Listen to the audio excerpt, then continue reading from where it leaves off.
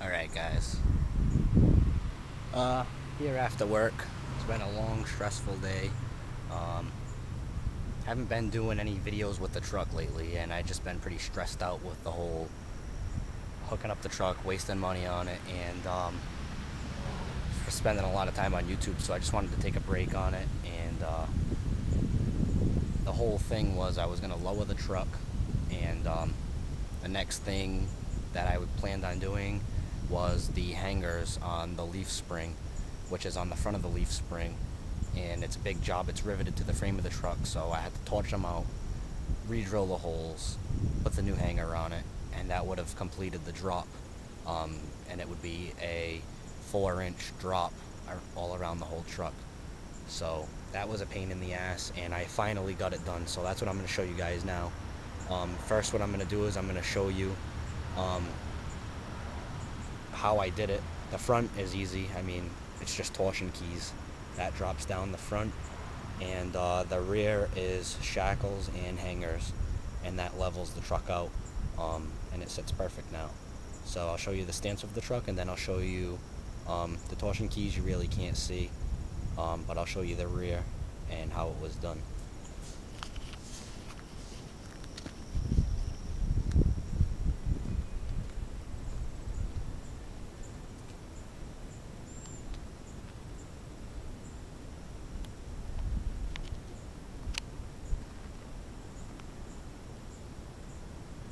So, before I had five and a half inches of wheel gap. Now, I have just about, can't fit two.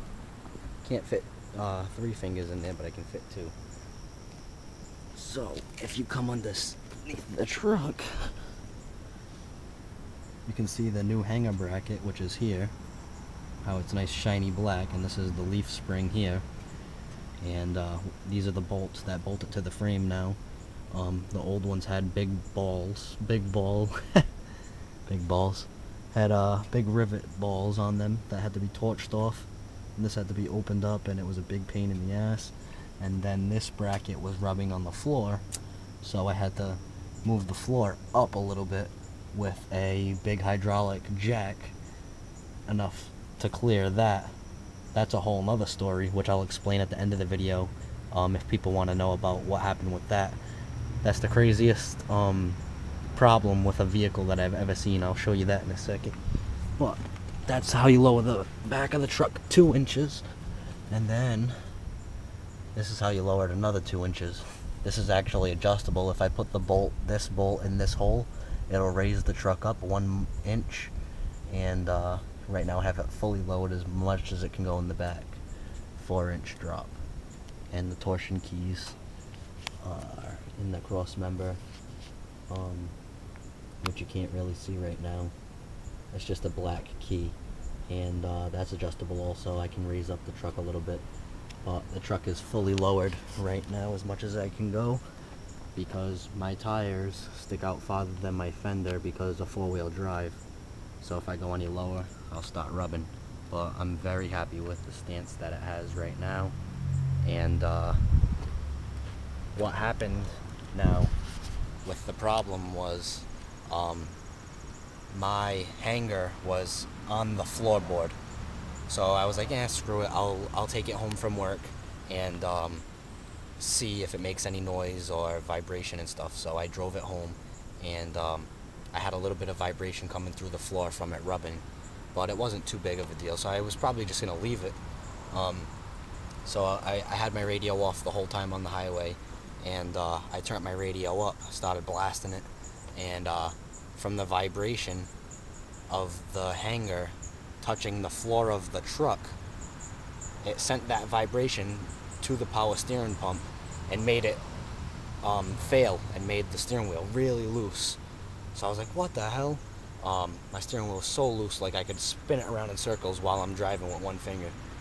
So um, I shut my radio off, and then all of a sudden it was tight again. So I was like, what the heck? I turned it back up, and it went real loose again. So I was like, hmm, that's pretty weird. I've never seen that before. So when I went to work, I jacked up the body.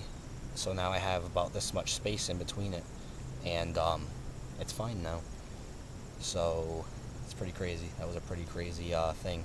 But the body is connected to the frame with rubber bushings, and that's why it doesn't do it normally. But that's about it for now. Um, I got some car shows coming up. I'm kind of getting back on track with the whole system thing and the whole truck thing. Now that things are starting to look up, and the truck's actually looking good, and it's starting to be pretty low. Um, I'm happy with the way it's starting to look now. So that is about it. And uh, in case you guys are wondering about the black strip on the back door, um, I've got a couple of questions about that. I am not the one who put that black strip on the door. I bought the truck like that, and I tried pulling it off, and there's a big dent right there, right underneath the handle, so I can't take it off. But if you guys keep staying subscribed and watching my videos, you'll see what's going to happen this winter to this truck, and it's not going to look the same.